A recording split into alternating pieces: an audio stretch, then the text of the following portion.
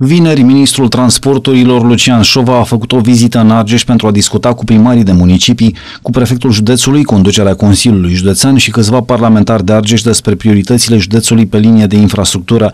Vizita a fost continuată cu o conferință de presă. Ministrul transporturilor a răspuns întrebărilor jurnaliștilor referitoare la întârzierile legate de demararea lucrărilor pe autostrada Pitești-Sibiu. Lucian Șova a explicat că stagnarea e cauzată de neobținerea încă acordului de mediu impus de Comisia Europeană, acord condiționat acum de construirea unor ecoducte pentru mamiferele mari. Acest proiect este un tot unitar. Până când acest proiect nu are acord de mediu, în viziunea Comisiei Europene, acest proiect nu poate fi uh, pus în aplicare. La nivelul companiei de drumuri, în uh, anul trecut, au fost deschise proceduri de licitație, având studiile de fezabilitate făcute, uh, pentru sectoarele 1 și 5, cele limitrofe cu Sibiul și cu Piteștiul.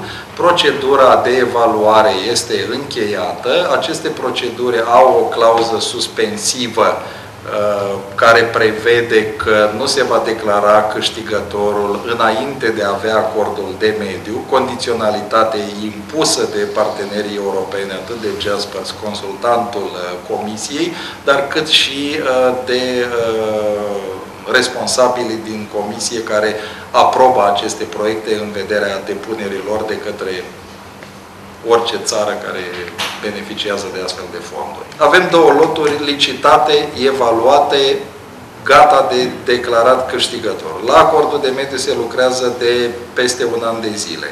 Ultima etapă din uh, evaluarea acordului de mediu a fost parcursă și studiul de evaluare adecvată a fost depus uh, cam acum o lună de zile în urmă. Din acest studiu a reieșit faptul că pentru ca acest proiect să întrunească toate standardele privind finanțarea din partea Comisiei, mai trebuiesc construite adiacent autostrăzii două ecoducte uh, care să faciliteze uh, circulația mamiferelor mari în zonele respective, două ecoducte care să traverseze însă DN7, calea ferată și râul Olt, fără a avea vreo legătură directă cu traseul autostrăzii.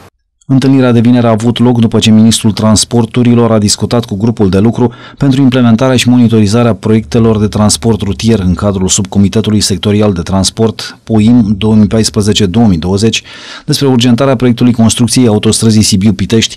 Traseul autostrăzii Sibiu-Pitești trece pe teritoriul a trei județe, Sibiu, Vâlcea și Argeș și este împărțit în cinci secțiuni. Sibiu-Boița, Boița-Cornetu, Cornetu-Ticveni, Ticveni-Curtea de Argeș, Curtea de Argeș-Pitești. Documentația tehnică pentru secțiunile 2 2, 3 și 4 ale autostrăzii este în faza în care se aduc completări în conformitate cu solicitările consultanților europeni de la Jaspers.